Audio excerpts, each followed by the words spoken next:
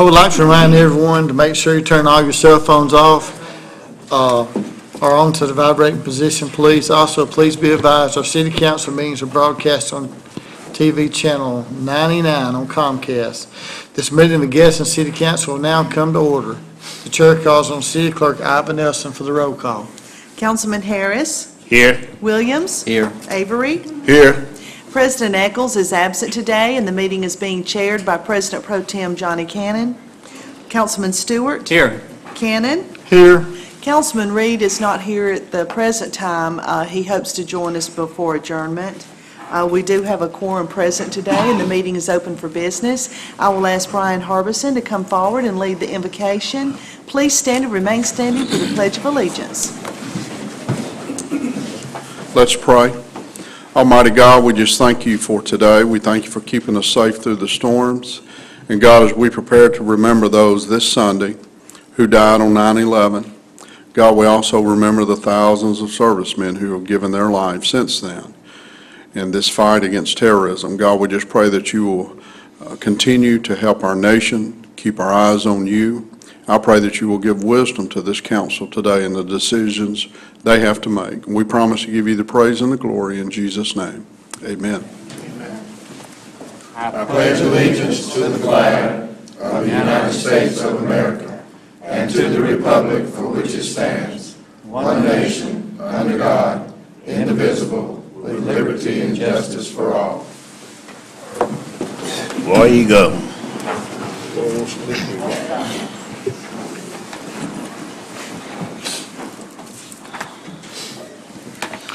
Chair will entertain a motion to approve the minutes of the Finance Committee meeting, work session, and council meeting on August the 30th. So moved. Second. Clerk, will you take the vote? Those in favor, let it be known by saying aye. Aye. Those opposed, motion carries to approve minutes. The chair will entertain a motion to ratify payments of the count for the week of August the 26th through September the 1st. So moved. Second. Clerk, will you take the vote? Those in favor, let it be known by saying aye. Aye. Those opposed, motion carries to ratify payment of the accounts. That brings us down to number seven, proclamations, Mayor.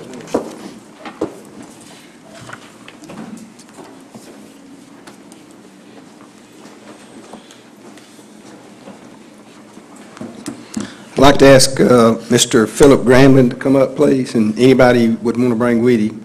Uh, Judge Ogletree was going to be here, but I think he got tied up in court. So anyway, Mr.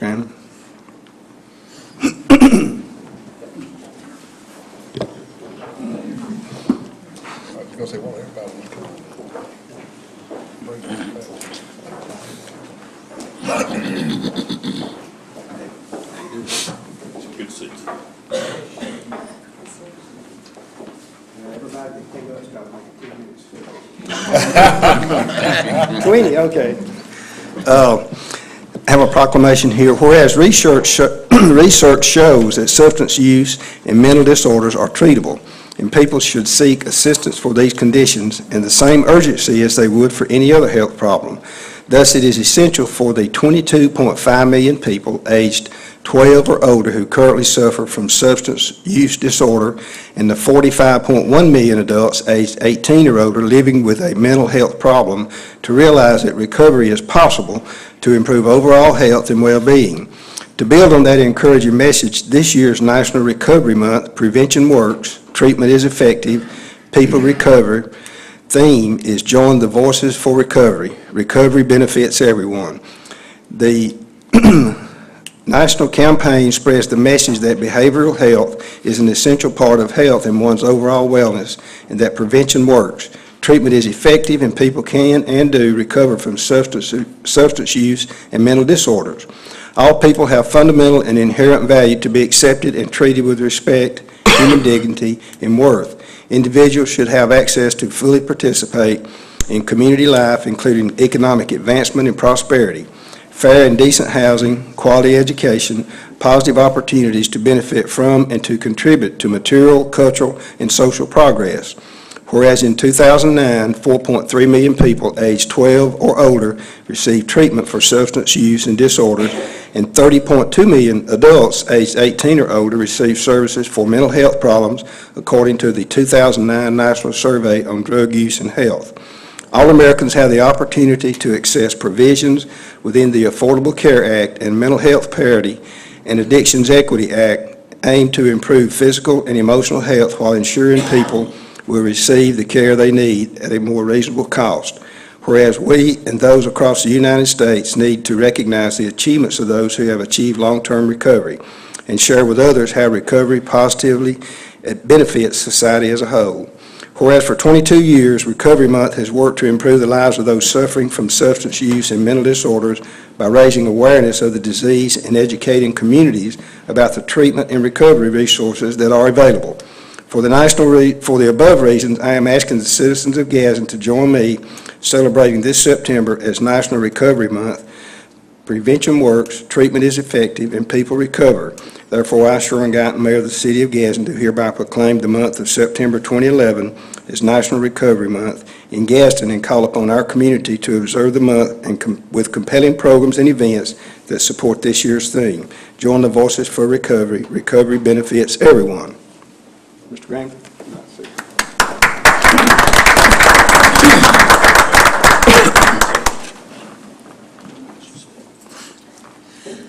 We want to thank y'all so much because September the 10th, we are having a recovery rally in Gadsden, and it's going to be from 3 to 11 o'clock, I mean, 3 to 10 o'clock, I'm so sorry, I was going to have y'all an hour later. But we really do appreciate y'all letting us have the venue. It's going to be at Gadsden Sports Complex, and it's going to be totally free. So everyone in the community to come out because everyone has a family member or someone themselves that suffered from substance abuse addiction or mental health problems, so it's very important to us. And today, we have represented the Northeast Alabama Crisis Center, we have the Bridge, we have Gadsden Treatment Center, and we have um, CED Mental Health Center, almost left us out. Thank y'all so much. Thank you very much for your support.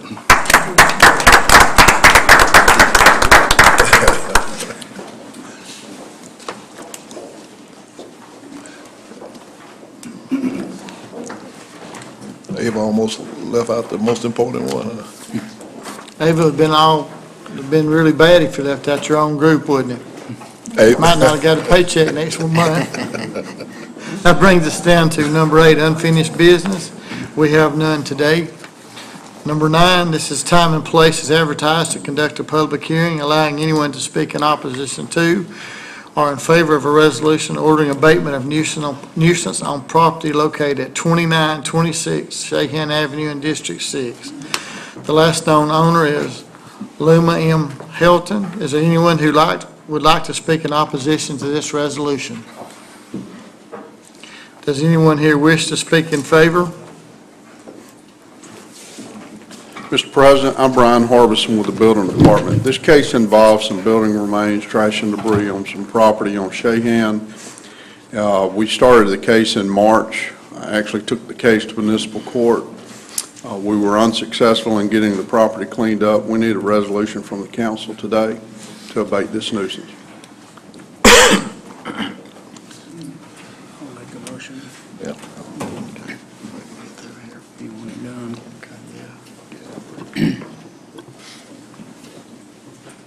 The chair will entertain a motion to adopt this resolution. So moved. Second. You said you took it to court and you didn't get a resolution? In other words, they didn't do it. I mean, they was fined and everything. Well, of course, the uh, municipal court uh, has, has limited jurisdiction. Uh, They, they cannot authorize the city to go on the I private understand, property, only but council. but they did can do that. find that there was a nuisance and stuff. Yes, right. There, uh, Okay. well, there was a citation sent and a court uh, hearing. Uh, The party failed to show, so uh, we're, we're seeking resolution to clean it up. Okay, yeah, I, I know we had to do that. I was just wondering if something happened in the municipal court that they didn't find that it was nuisance, okay? Are there any more discussion? Clerk, will you take the vote, please? Those in favor to adopt the resolution, let it be known by saying aye. Aye. Those opposed, motion carries to adopt.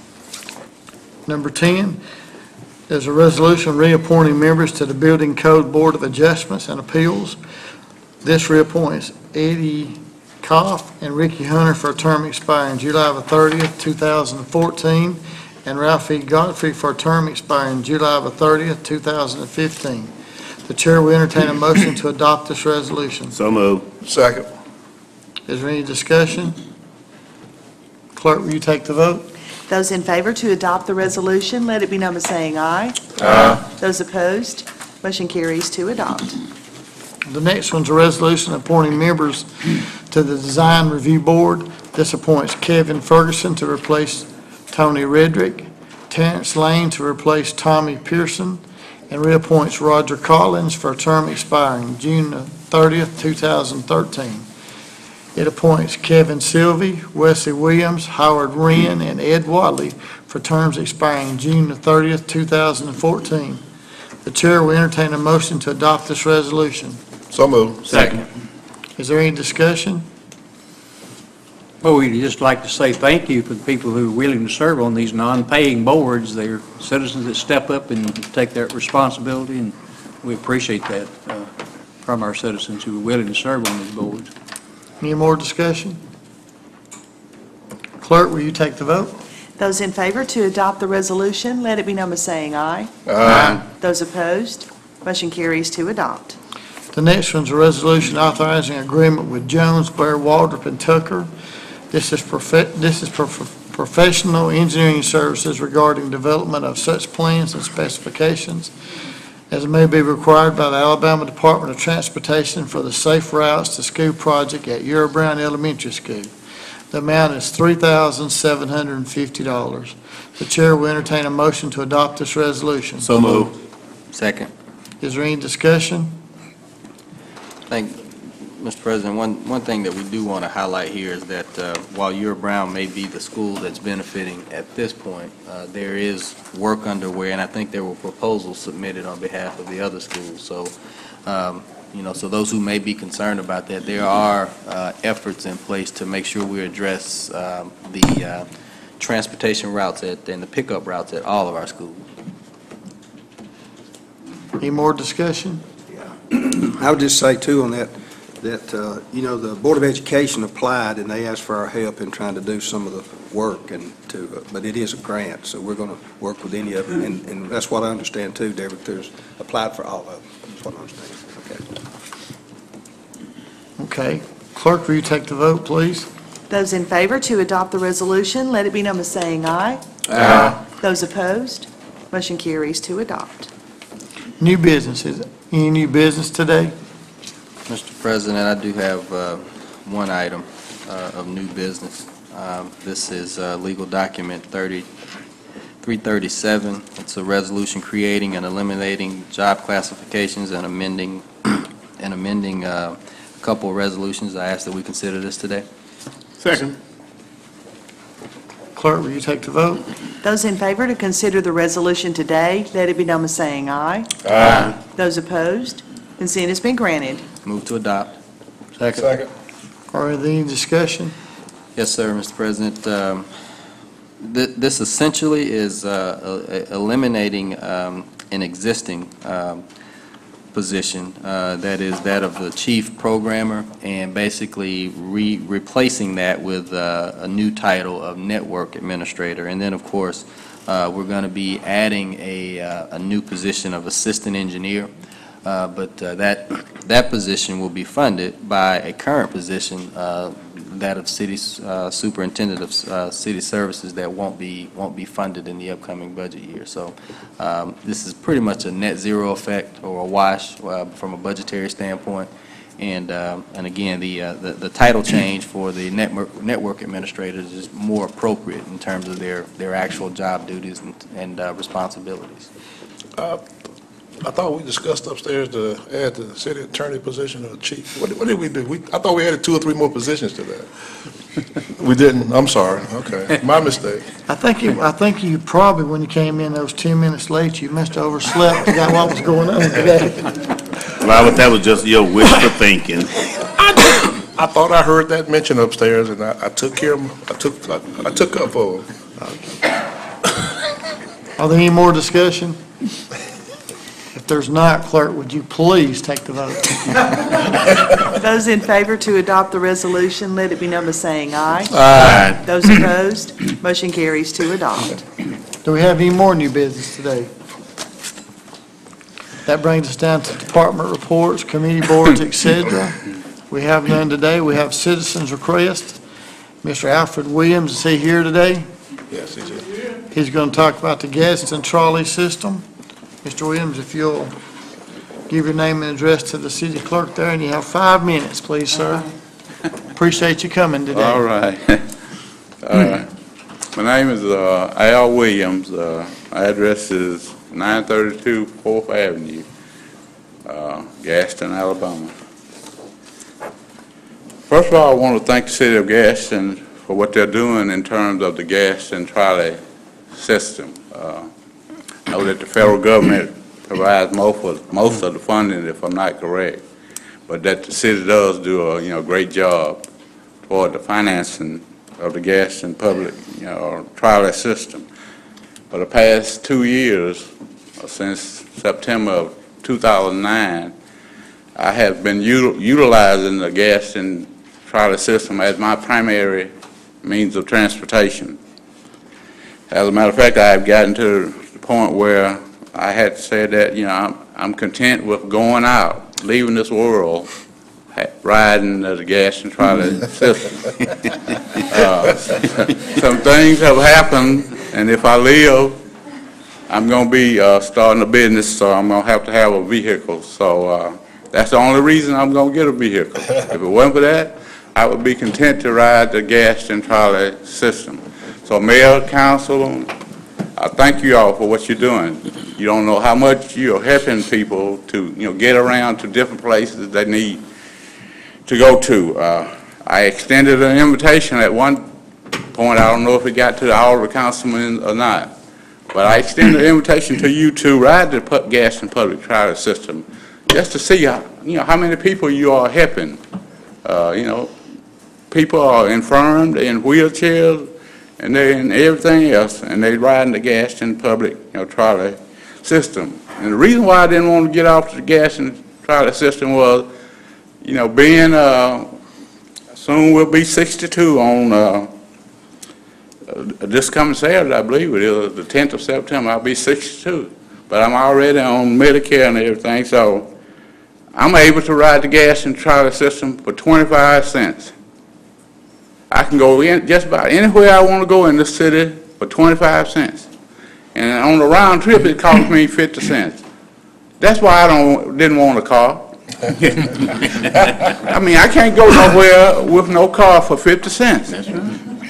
So I thank you uh, again, and I'm going to speak in behalf of the drivers. I know a resolution have come before the council in time past, asking for uh, extra, you know, some extra pay for the drivers.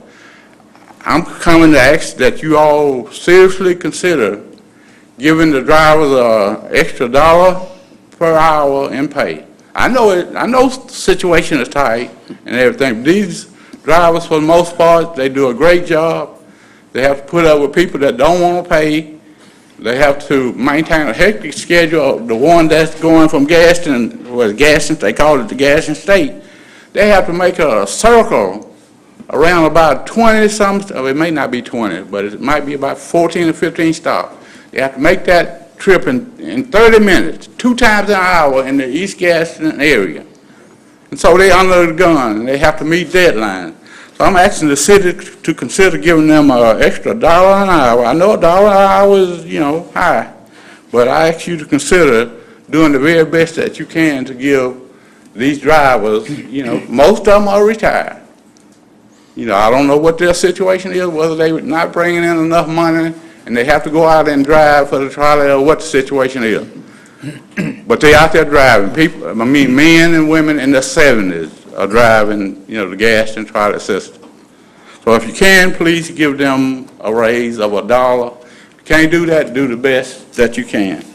And I thank you in concluding that you all are providing that service. You, you don't have to do it. So I thank you for providing that service. And it looked like my days on,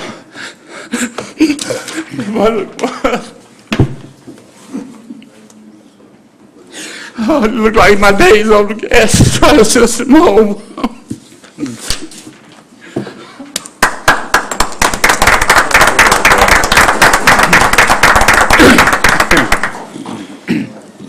That brings us to remarks by the mayor and council.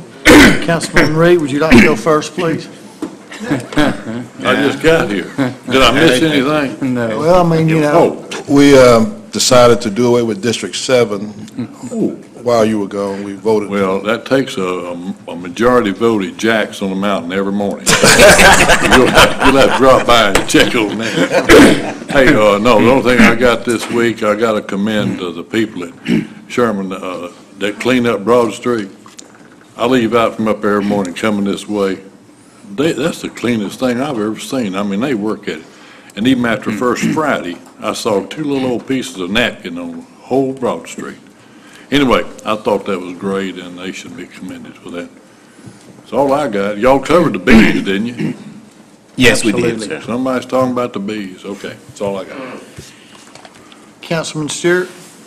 I'd just like to uh, thank the people who uh, work in mental health and substance abuse. These are all my friends back there, and uh, I serve on a couple of those boards. so Just great to see them here.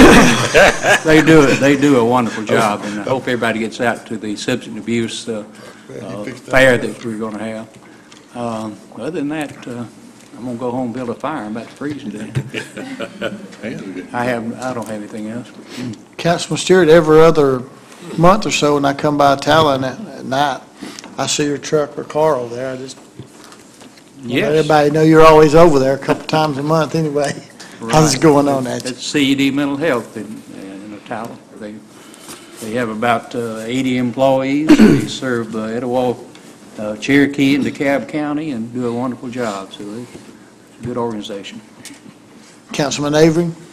I'm I'm- I'm glad he cleared that up about them being his friend. Because I think the folks down this end got the impression that you were, anyway. Uh, Well, that, that would probably be clever.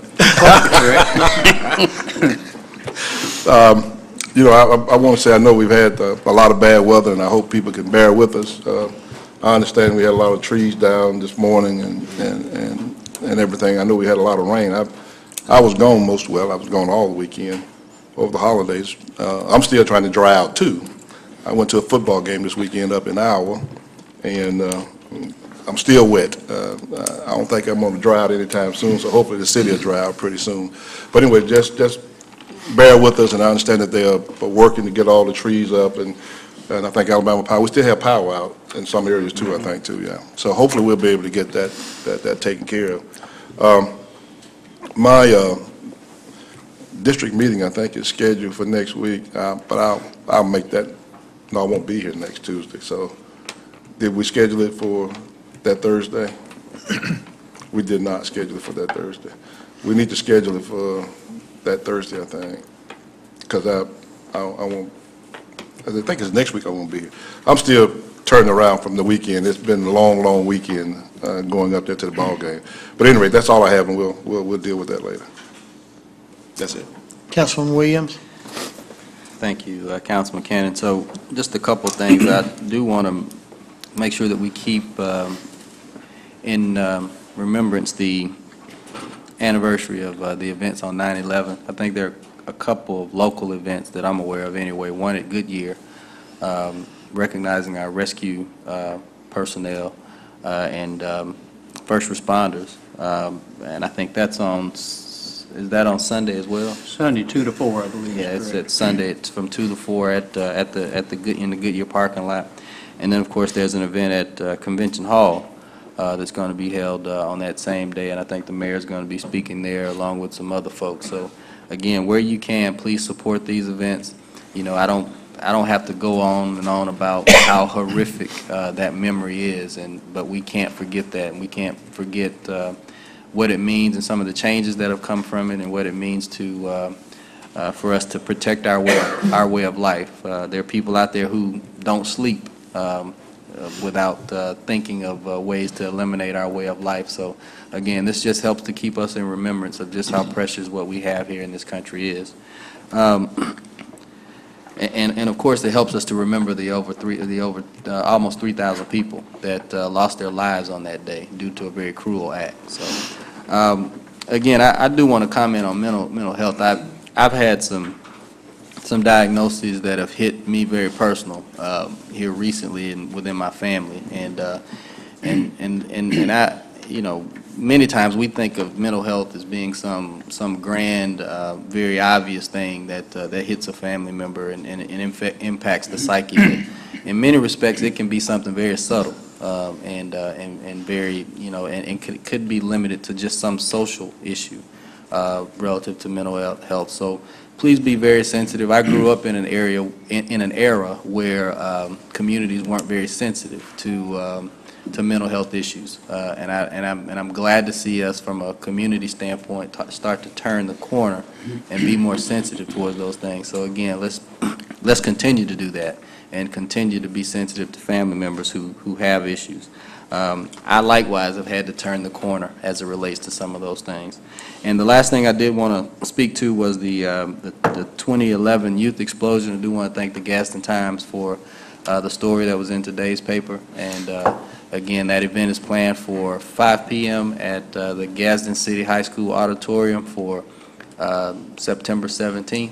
Um, With uh, those young people attending, will also have the opportunity to attend an after-party afterwards. So um, as I've said before, this is an exciting time, an exciting event. We're, we're starting to hear a lot of buzz about the event, uh, but this event in and of itself is not designed to fix anything. This event is uh, designed to help serve as a catalyst for some of the great organizations that are already in place that are doing some great and wonderful things. So uh, we're excited about this event, and uh, we're excited about some of the panelists that we're going to have in the city. So please support that where you can. Thank you. Councilman Harris? Thank you, Mr. President. Um, Like everyone else, I encourage everyone to remember the victims of 9/11 uh, during the week. Uh, And we we really and truly, uh, that is an event that we should never forget, and we should always remember those people, not just on the anniversary of that horrific uh, event. Uh, Please remember all the victims and and those persons who still suffer uh, from those things that happened on that day. And the the cleanup that's going on today after the weekend uh, events, uh, I I promise you, and we've been assured by our city that these, these, this cleanup is go- ongoing and is, and in my opinion, is being very well handled. Although, you know, there was a lot of destruction, a lot of trees. I think somewhere, we heard this morning, that four to five trees have fallen during the city, uh, over the city during this weekend. So uh, the city uh, uh, is working diligently to get those uh, situations um, rectified. Again, CED Mental Health and all the people who work in substance abuse, you ought to be commended because I think that, I don't think there's a family anywhere that has not been touched in some manner by mental health or substance abuse. So we congratulate you on the job that you're doing and that we hope that everyone will continue to support you in all your endeavors. Of course, you have two, two big uh, patriots here on city council. Uh, I won't call their names, but they're raising their eyebrows, they know who I'm talking about. Thank you.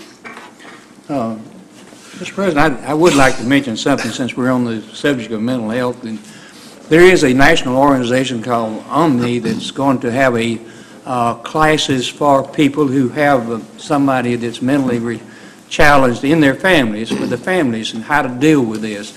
It's going to be held at the First uh, Pre- uh, First Methodist Church, starting sometime this month. So if you like, if you have a, a- a member of your family that is mentally challenged and you'd like to take this course, get in touch with me and I'll put you in touch with the proper people and let you know when those classes are going to start. But it's a national organization, they're trying to establish a chapter here in Etowah. They have one in Cherokee already, it's very active. So uh, get in touch with me and I'll put you in touch with the proper people if you're interested. Councilman Reed? Yeah, I just wanted to add, uh, if you have a tree in your yard that's out in the road or it's across your driveway, they're having a terrible time getting all this done, as we've talked about up here. But you got to realize that in most cases like that, we have power lines involved in that. So the power company's got to come out and do their thing. We don't want anybody getting hurt. So just kind of hold back, let, let the power company do their job, and our Public Works Department will come by and do theirs. That's all, just a reminder. Robert, you want to go, back? you had Yeah, else? I, I did look at my calendar, and it is next Thursday. That's the third Thursday. Uh, As you know, this is football season. We don't do it on Saturday during football season. So my district meeting will be next Thursday at 5 PM at the Carver Community Center. Uh, So please, ma'am, and please, sir, be mindful of that. I won't be here next Tuesday. That's why I'm making the announcement today. Okay. Mayor, we finally got to you. All right. Uh, First of all, I want to thank Mr. Williams for coming and your uh, kind comments. We don't get a lot of kind comments up here, but uh, I I appreciate you doing that, and I I will tell you, and I don't remember if it was, it was probably the year before last, when I got in office, I think the pay scale was anywhere from 725 to 825. Everybody made different amounts, and we did put them all together and raise them all to $9, I think, year before last on that. But, but I still, I know what you're talking about. They do a great job, and they put up with a lot of uh, gab, I guess. And also, uh, Mr. Williams, I don't know if he remembers, but uh, I was coaching at General Forrest about 1969 when he played football at Emma Sansom, and he was one more good end. I'm telling you, he was- he was a player. Uh, But uh, thank you for coming today. Also, uh, let's see here, I got a. I can't remember what I was going to say. I want to introduce uh, Captain Harbin. He's the new chief police right here, I'd like to give him a big hand. Captain, appreciate you being here.